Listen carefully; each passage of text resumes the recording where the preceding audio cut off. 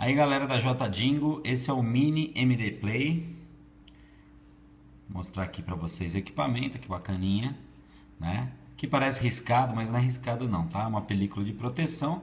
Ele vem aqui com liga e desliga, o cartão de memória que a gente manda para você com 8 GB e com 8 mil jogos. Desse lado daqui o volume, o fone de entrada que não vem no equipamento, mas a Dingo manda também. E aqui a entrada USB para você poder mudar aí teus jogos, carregar ele certinho. Uma coisa interessante que ele vem aqui, ó, é uma lanterninha. Ele vem com uma lanterna bacaninha aqui, tá meio claro, mas acho que dá para ver aqui, ó. Bem, é bem interessante esse equipamento. Ele roda de natureza o Game Boy Advance, o Super NES, o NES e o Mega Drive.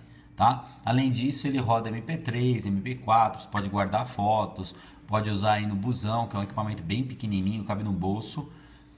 Tá? E a gente colocou também alguns emuladores dentro do emulador do Game Boy Advance, ou seja, o Master System, o Game Gear e o Game Boy estão emulando pelo emulador de, de Game Boy Advance. A emulação do Master System não fica tão legal não, mas dá para jogar. Agora a emulação do Game Gear e do Game Boy fica tranquilo. Então vou mostrar para vocês aí alguns jogos. Ele só tem quatro botões, tá? É, o que não atrapalha na maioria dos jogos, até porque o foco dele sempre foi Mega Drive com três botões, né? Mas ele roda Super NES também, mas não atrapalha na maioria dos jogos. Então aqui pode ver que não tem aqueles botões de ombro, né? São quatro botões, equipamento bem simples, direcional.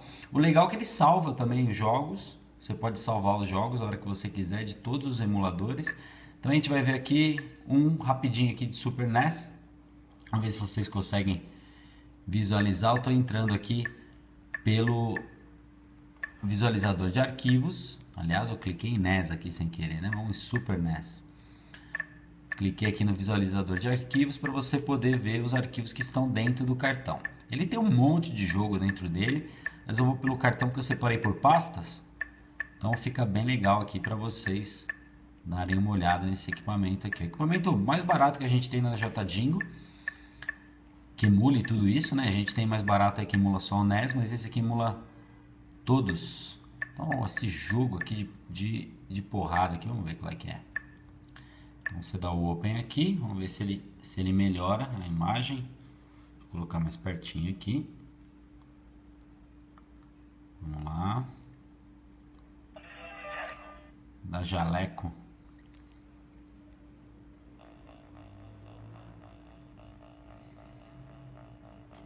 Deixa eu dar um enter aqui. Vocês verem, a emulação dele é ótima, perfeita.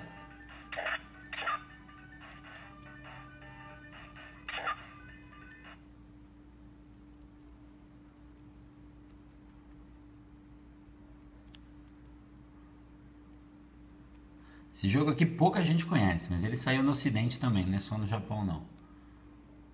É um jogo de luta. Eu tirei o som. Aí, agora sim.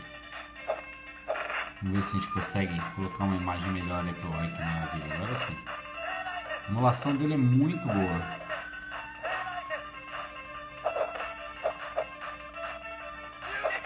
Esse direcional dele também aqui. Todo analógico, bem bacana de trabalhar. Aí, já perdi aqui. Vamos lá. Bem, vou mostrar uma série de joguinhos aqui emulando, mas é um equipamento bem bacana. Aproveite aí, entra no site da JDing, a gente tem vários modelos de equipamento para você. Esse aqui está disponível na cor preta e na cor branca.